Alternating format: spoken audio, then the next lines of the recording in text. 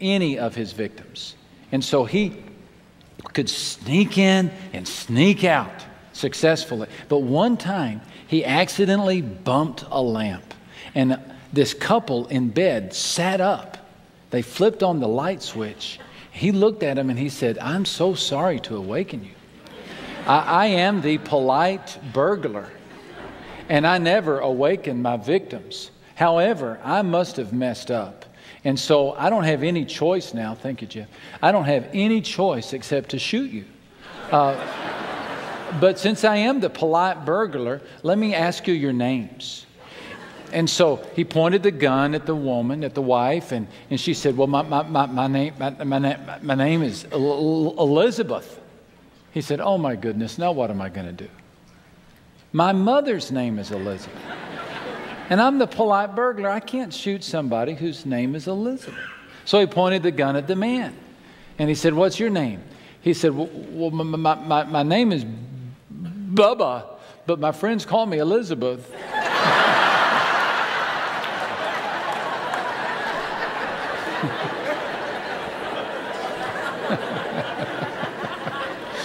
well, he's not the only one who finds themselves stuttering in the face of fear. We live in the most fear filled generation in the history of the world.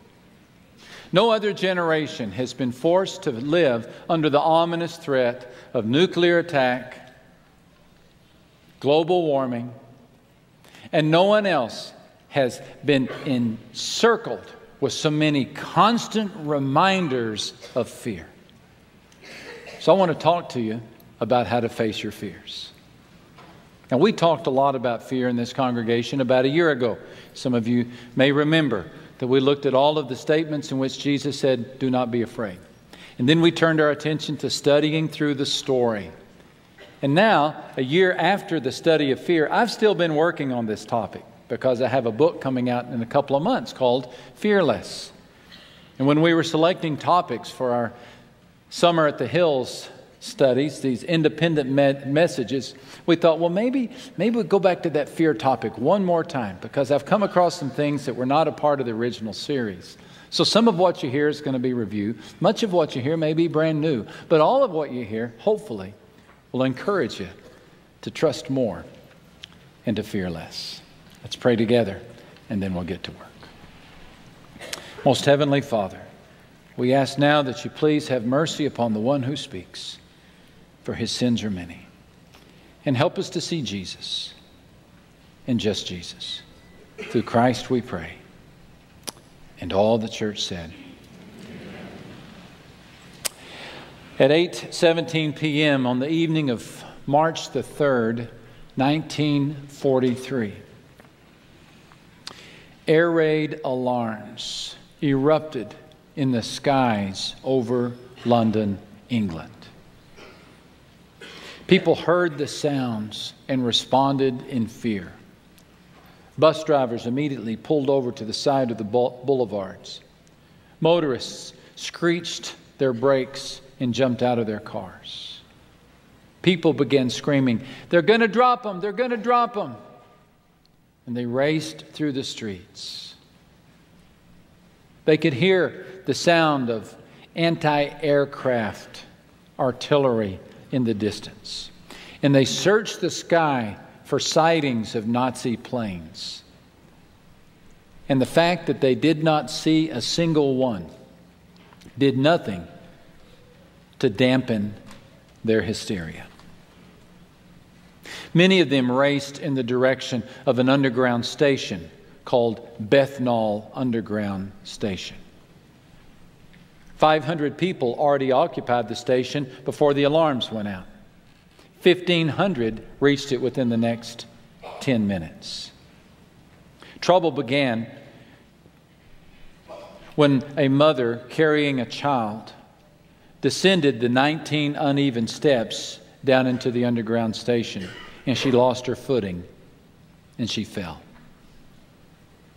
She threw off the rhythm of the oncoming traffic of people. And people begin to fall in on top of each other like laundry in a laundry basket. The next wave of safety seekers, upon seeing the crowd or the congestion at the entrance, determined that someone must have locked the doors because fear always assumes the worst. And so they begin to press, and they begin to press. And the result was 15 minutes of deadly chaos. It took four hours to disentangle the bodies. At the end, there were 173 men, women, and children who died. And not a single bomb had been dropped. Fusillades didn't kill the people. What did? Fear did. Fear loves a good stampede. Fear loves a good stampede. Fear's payday is heightened panic, disquiet, anxiety. And I would suggest to you that fear has been making a good living lately. They're talking layoffs at work, slowdowns in the economy, upswings in global warming, downturns in good health. Some demented dictator is collecting nuclear missiles like others collect fine wines. We're reminded daily that if the wrong person pushes the wrong button, the whole earth can go up in smoke. And the consequence is a generation of fear. We take more mood altering drugs than any other generation in history. One psychologist recently determined that the average child today lives with the same amount of fear as a psychiatric patient in the 1950s. Part of the reason is simply the barrage of fear that we face. It's on every cable channel, it's on every news network. One study determined that the use of the phrase at risk in certain major newspapers has increased by nine times during a five year period. Someone has learned if you use the phrase at risk in an article, it grabs the attention of the reader. I don't think the world is nine times as dangerous as it was five years earlier. But someone has learned that fear builds an audience. That's why just before the news breaks and goes to a commercial, the reporter will say, Stay tuned, coming up next, what you do not know about the water you drink. they got us. What you do not know about letting your wife shop alone. they got us. what you do not know about sitting in traffic. And they got us. Because fear sells. Fear glues the audience to its seats. Fear sells magazines and newspapers. So, one reason we feel fear is because fear is everywhere. It's all around us. People are speaking fear into our lives every single day about what we eat, about what we breathe, about where we walk. But the other reason we feel fear is because it is a dangerous time. It is a frightening time to be alive. So, what do we do? Well, I think we're reminded, first of all, that fear serves a purpose. That fear is a gift of God. That fear, in its original sense, in its first sense, is intended to alarm us to oncoming danger. Feeling fear is not bad. The feeling of fear will keep you from crossing a busy street, smoking a pack of cigarettes, or staying in a burning building. Fear is the canary in the coal mine. It, rem- it, it alarms us to impending danger. So the presence of fear is not the problem, it's the persistence of fear. You see, fear in and of itself is not a sin. Fear is not a sin, but fear can lead to sin. Inappropriate treatment of fear can lead to sin if I try to medicate my anxieties by excessive use of pharmaceutical drugs or alcohol, if I indulge in escapes with pornography or shopping or even an athletic activity, if I try to respond to my fear with vice like control, then fear turns me into a person that I do not want to be. And fear turns me into a person that God does not want me to be. The scripture teaches us that God has not given us a spirit of fear. God has not given us a spirit of fear. There is the purpose of fear. Fear will always knock at your door. The trick is to not invite fear in to spend the night. And certainly never rented out a room. you see, the, the deal with fear is that fear is based on a lie. And if you want to look on your outline, it's on the inside panel of your handout. Fear is based on a lie. Here's what fear says. Here's what your fear says. Your fear says no one is in control. And that is a scary thought. When you think no one is in control, it's a scary situation in which to be. The reason that we're afraid of heights is one step, one false step, and we're spinning out of control. The reason we don't like to fly is because we're not in the cockpit, we're not in control. The reason we don't like public speaking is because we don't like the thought that we can't control how people respond. The reason we don't like crowds, uh, the, the reason we don't like intimacy, the reason we don't like the thought of being married or being alone, the reason we don't like the next chapter of life is because we're afraid that we will go into a part of life that we cannot control. The reason that some people don't like to ride in a car that they're not driving is why? Because someone else is in control, and they are not. And there's this false feeling of security that comes when we think we are in control. So, fear is the perception that the world is out of control. Fear is the perception that the world is out of control. My world is out of control. And that's a very scary thought. So, that happens to all of us. Now, the question is what do I do with it?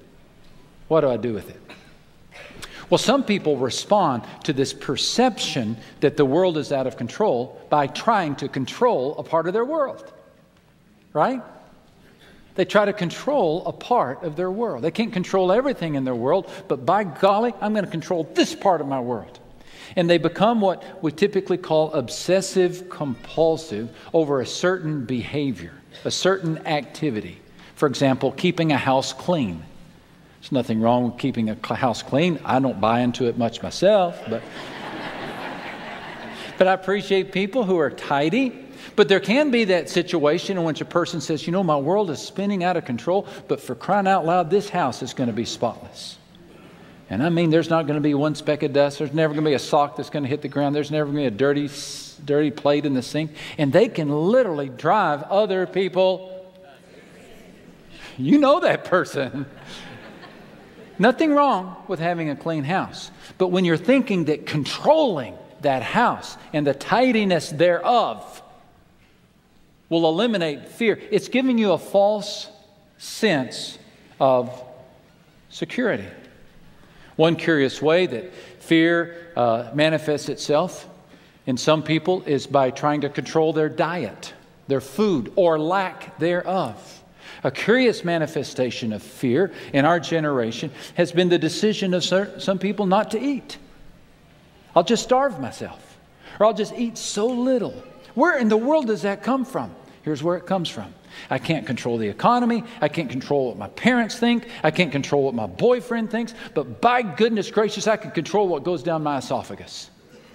And it's, and it's, a, it's, a, it's a subtle act of defiance.